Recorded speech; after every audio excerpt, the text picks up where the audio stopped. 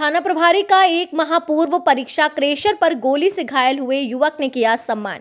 खबर पोहरी से आ रही है। थाना प्रभारी पोहरी सहित समस्त स्टाफ का एक महापूर्व पूर्व परीक्षा क्रेशर पर गोली लगने से घायल युवक ने अपने पुत्र का किया सम्मान।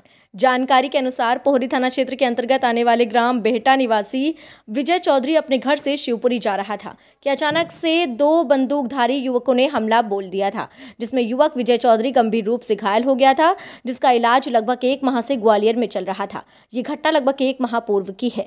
लगभग एक माह बाद आज ठीक होने के पश्चात विजय चौधरी ने थाना परिसर पोहरी पहुंचकर थाना प्रभारी मैडम बलविंदर ढिल्लन के नेतृत्व में मेरा नाम विजय सिंह चौधरी। आप जो पौरी थाना परिसर पे आए हो किस लिए आए हो आज? पौरी थाना परिसर में इसलिए आया कि तेरह दिसंबर 2022 में जो घटना मुझ पर परीक्षा क्रेसर पर हुई थी इसलिए मैं आदरणीय थाना प्रभारी टीआई साहब का सम्मान करने के लिए आया और उनसे मिलने के लिए आया क्योंकि उनकी कार्रवाई से मैं संतुष्ट हूँ।